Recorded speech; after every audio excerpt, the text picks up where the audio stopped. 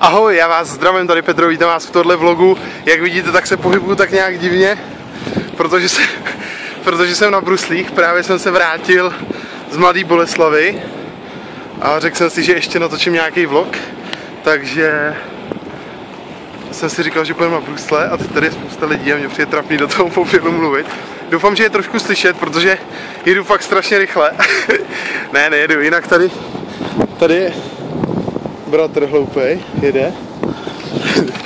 a jako je to fajn ty brusle, teď tady jezdíme okolo Štruncáků v Plzni, nevím, Plzeňák si možná ví, ale no a je to fajn, jako ty brusle jsou super, že člověk jede a přitom odpočívá, takže super.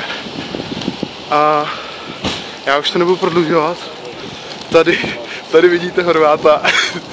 takže to je velký masakr, ne, ne. No tak dobrý, tak jsme viděli Horvyho. Takže super, no. Nevím, že nechtěl podpis ode mě, to nechápu.